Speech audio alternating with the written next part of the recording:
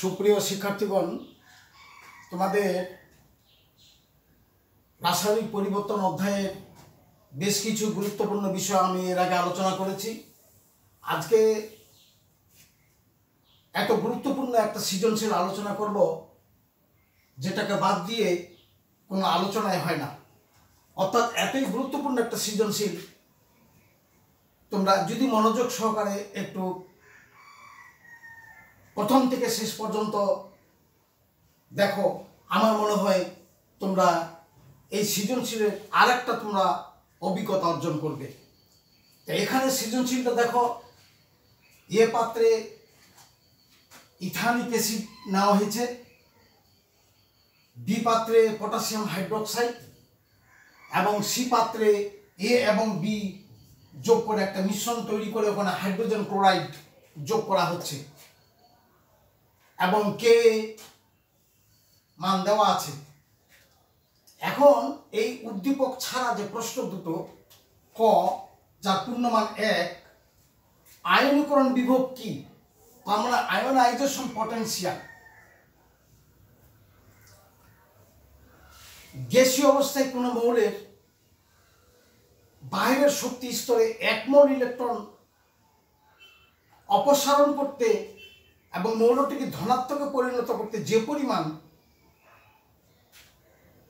শক্তির প্রয়োজন হয়, ওইটি হলো ওই মৌলটির আয়নীকরণ বা আয়নাইজেশন পটেনশিয়াল খটা আছে এক সর্বাধিক, এক মৌলটি সর্বাধিক তৈরি ঋণাত্মক কেন? দেখো, ফ্লোরিন পর্যায় সারণীর সর্ব ডানে এবং সবারই উপরে এবং এটা খুবই ক্ষুদ্র।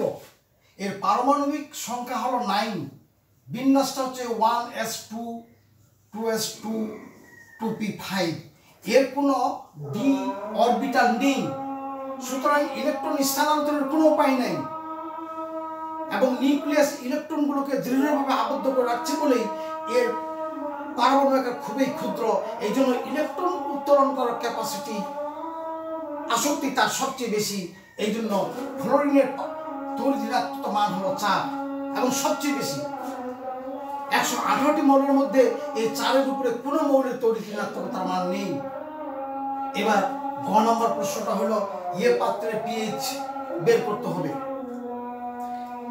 এ পাত্রে যে অ্যাসিডটা আছে, সেটা হলো দুর্বল অ্যাসিড ইথানিক অ্যাসিড তো আমরা ইথানিক অ্যাসিড অর্থাৎ দুর্বল অ্যাসিড অস্ট্রাল ডাইলেশন সূত্রের সাহায্যে আমরা জানি alpha is equal to k is divide by c অর্থাৎ এটা হলো alpha is the dissociation constant and k is the in terms of acid here acetic acid and c is the concentration of acid তাহলে এদের মানগুলো দেওয়া আছে।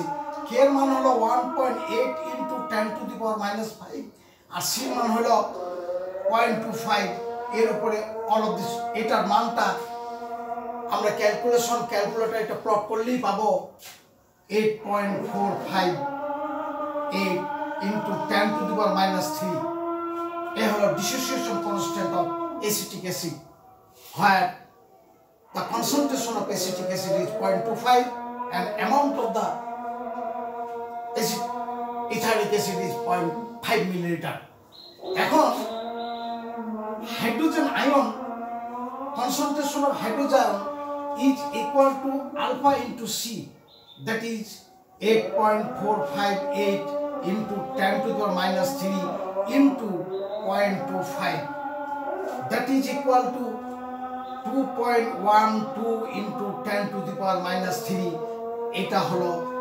Hydrogen আয়নের মরার কনসেন্ট্রেশন দ্যাট ইজ এত মূল। এখন আমরা জানি the pH is equal to minus log hydrogen আয়নের কনসেন্ট্রেশন তাহলে minus log two point one two into ten to the power minus three এটা ক্যালকুলেশন করলে দাঁড়ায় টু পয়েন্ট সিক্স সেভেন এটাই হলো answer that is the value of pH in a pot that is the acetic acid in a pot is two point six seven এখন ঘ নম্বর প্রশ্নটা আছে, যেটা উচ্চতর দক্ষতা এবং এর পূর্ণমান হলো চার। সেটা হচ্ছে, সি পাত্রে সি পাত্রে এসিএল যোগ করলে পিএইচ পরিবর্তন হবে কি না তাহলে সি পাত্রে যোগ করা হচ্ছে এ এবং বি। তাহলে এ এবং বি যেহেতু একটা পাত্রে জমা হচ্ছে, তাদের মাত্রাটা আমরা এক করে নিই। এই মাত্রা এক করে নেওয়ার বৃদ্ধি হইল five millilitre point two five mole of ethanoic acid E equivalent to এই মাত্রা দুটাকে, অর্থাৎ মাত্রাকে এবং পরিমাণকে গুণ করলেই পয়েন্ট টু ফাইভ এটা মিলিলিটার এবং এটা one mole of ethanoic acid. That will be one point two five one molar ethanoic acid. এখন ওখানে পটাশিয়াম হাইড্রোক্সাইডে যাচ্ছে বি এটা হলো এ দ্রবণ। আর বি দ্রবণে পটাশিয়াম হাইড্রোক্সাইড, তাহলে fifteen millilitre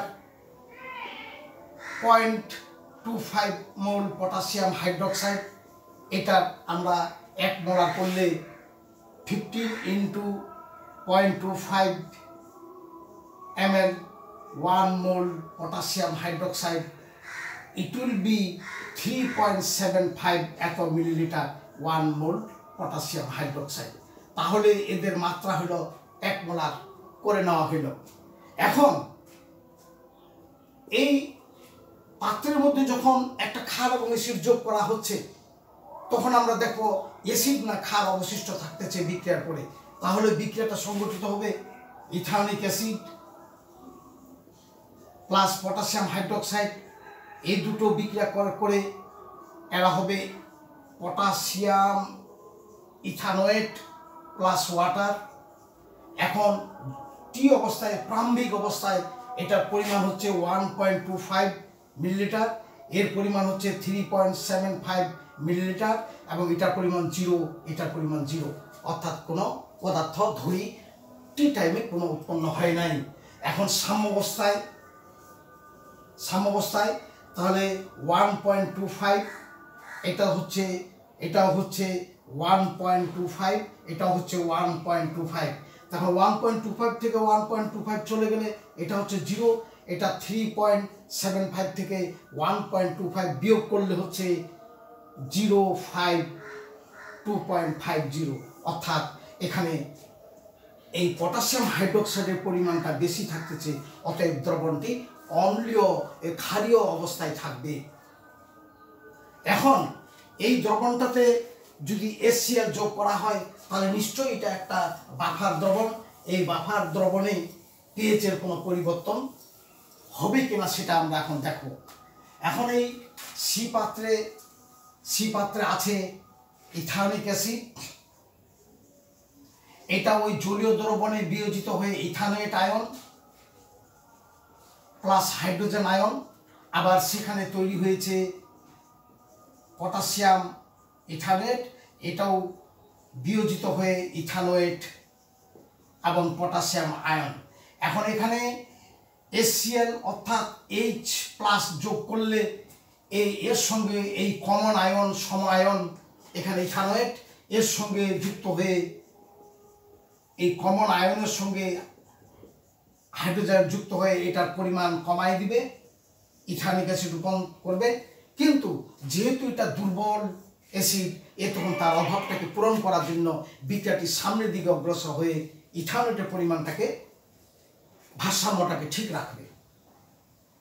এইভাবে পিএইচ এর মানকে যতই সেল দেওয়া হোক না কেন পিএইচ এর মান কোনো পরিবর্তন হতে পারবে না। অর্থাৎ এখানে বাফার অ্যাকশন শুরু হবে। তোমাদের সকলকে ধন্যবাদ। তোমরা যারা নূতন, তারা এই প্রতিদিনের ভিডিওগুলো পাওয়ার জন্য চ্যানেলটিকে সাবস্ক্রাইব করিও। আর যারা পুরাতন, তারা লাইক এবং কমেন্ট করিও। এর ভালো মন্দ তোমাদের বিচার করে তোমরা কমেন্ট করলে আমি আরও একটু ভালো করার বা সহজ করার চেষ্টা করব। তোমাদের সকলকে ধন্যবাদ।